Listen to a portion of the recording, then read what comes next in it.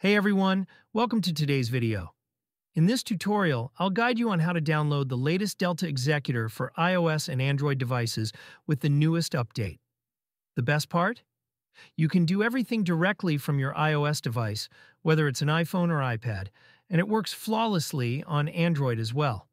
Plus, it's fully compatible with the latest Roblox update. As you can see here on my iPhone, it runs perfectly. What's even better is how quick and simple it is. Just a few easy steps, and you're all set.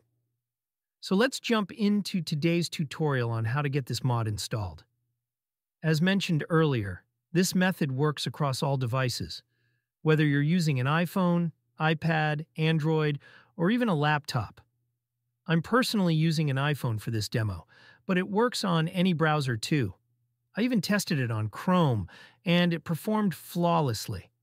All you need to do is head to the website. I'll display the link on the screen for your convenience.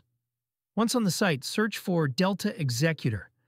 It should show up as one of the first options. From there, select your device. For this tutorial, I'll choose iPhone again. Then, click the download button, and it'll start downloading automatically. In some cases, due to high traffic, you might encounter a quick human verification step. Don't worry, it's straightforward.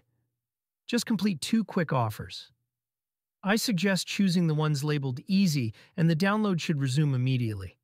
That's it, you're ready to use this amazing mod. If you have any questions, drop them in the comments below. Thanks for tuning in, and I'll catch you in the next video.